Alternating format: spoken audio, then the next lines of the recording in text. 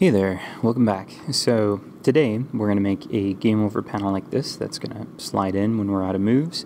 We won't be able to interact with the scene anymore. And then we'll have two buttons that we can use, either quit or restart. If we choose restart, it's going to reload the current scene. And if we choose quit, it's going to load the main menu. So stick around and let's dive right in. Hey there, let's dive right in here.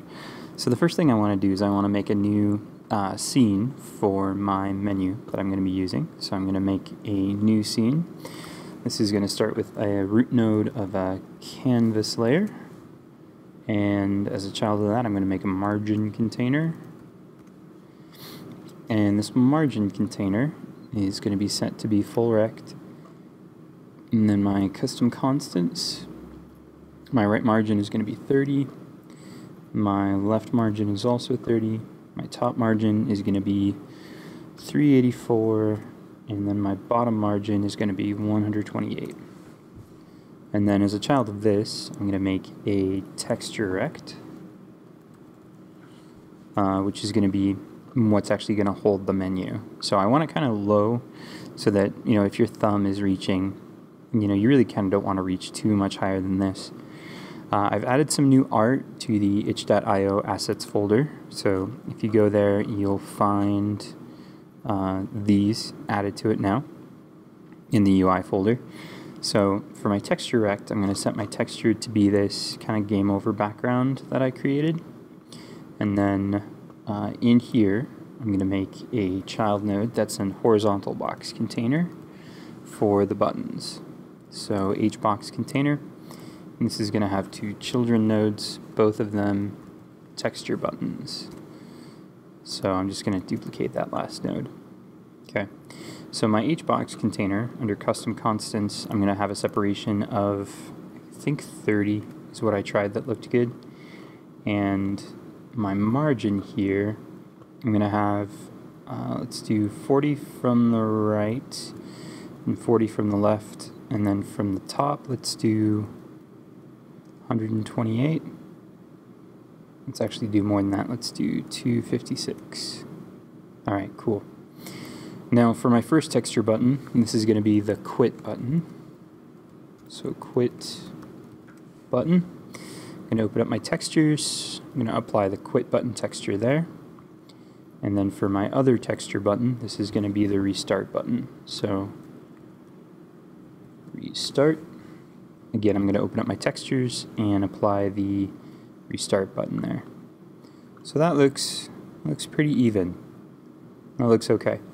All right. Now on my canvas layer, I'm going to set my offset to be 576, which is the width of my my scene here. Uh, I'm also going to add a new child, which is an animation player. Now I already made uh, the animation for something sliding in and sliding out, so I don't need to remake that animation. Instead, I can just uh, find my scene, which is my base menu panel. I'm going to go to the animation player node on there, and then I'm going to copy this animation. Actually, yeah. So I want this on slide in because that's the name of the animation. And I'm going to go back over to my new panel that I'm making, my animation player, and oh no, Okay, so I don't want to do it like that. Sorry. All right, so here's what I'm going to do. Um, rather than making a copy, because I thought that would work just like copy and paste, but apparently it doesn't.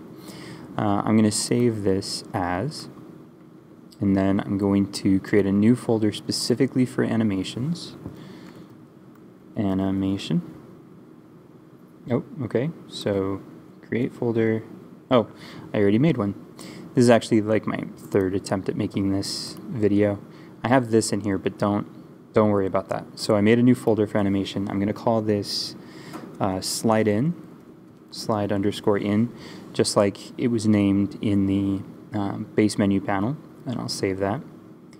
Now on my unsaved panel, I'm going to add an animation. So I'm going to go to the file folder. I'm going to grab slidein.tres. It's important that this slide in is the same setup as it was in the base menu panel um, for the, the base menu panel slide in animation because we're going to be using some functionality from that base menu panel script.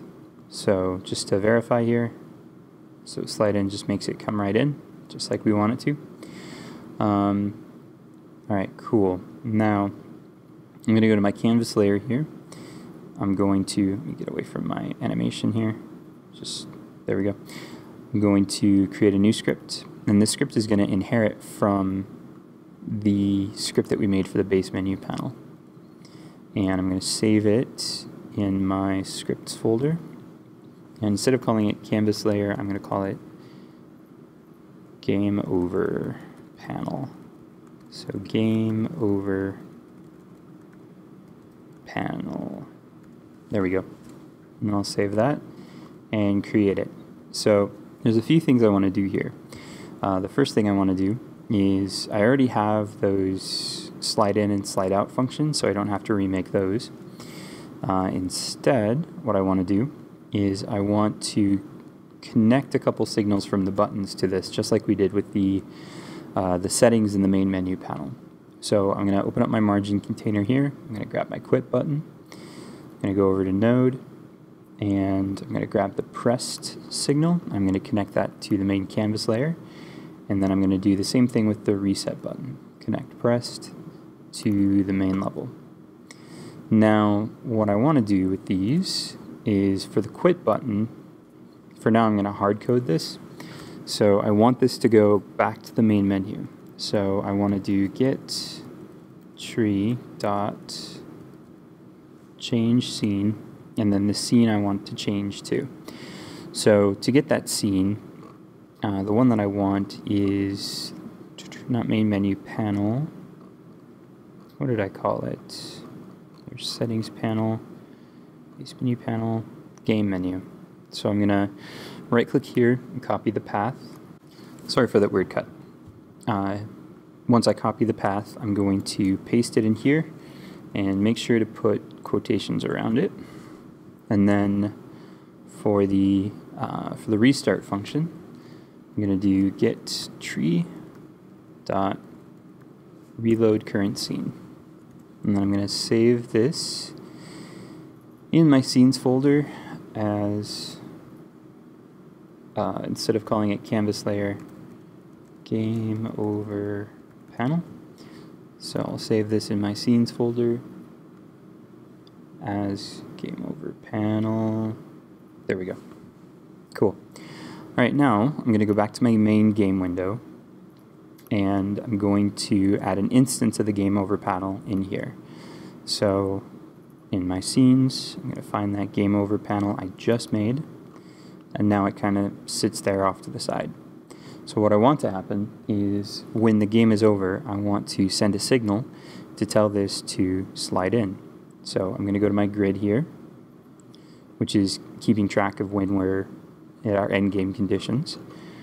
Uh, I'm going to put these variables where I have all these counter variables here. So I'm going to add a signal for game over. And then I have a game over function that I made in the last video, which is down here somewhere.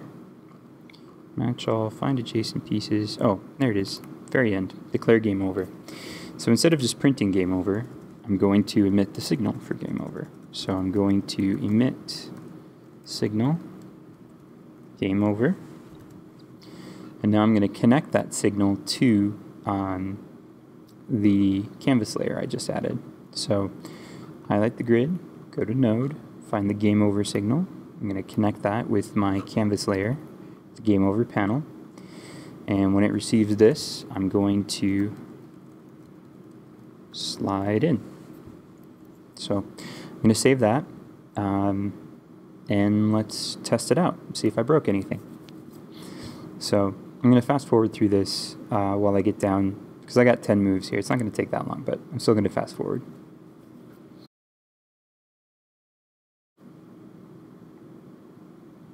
Okay, so the game over panel went in like it should, and if I try to interact with any of these objects back here, I can't. So let's check. Let's see if I hit the restart button.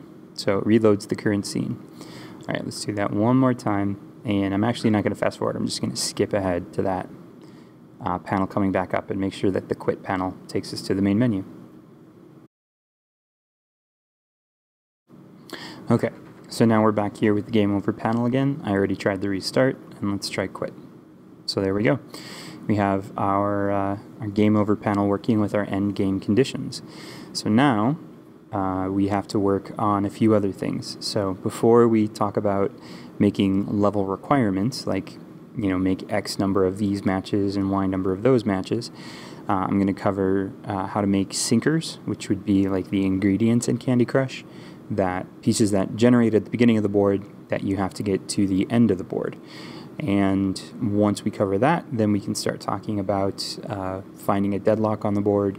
And once we find deadlocks, then we can talk about generating hints. So we're getting there. We have we have a lot of stuff done already. Uh, also, relatively soon, I'm going to be talking about making a score bar that actually fills at the top of the screen. So uh, feel free to ask any questions in the description down below. And yeah, everybody out there, have yourselves a wonderful day. If you enjoyed this video, consider giving a like, subscribing to the channel, or telling a friend who might be interested. Also, please consider following me on Patreon. For as little as a dollar a month, you can earn access to tangible rewards, like early access to videos, backer only videos and series, polls for future topics, streams, and even individual tutoring sessions. You can find a link to that in the description. And as always, have yourselves a wonderful day.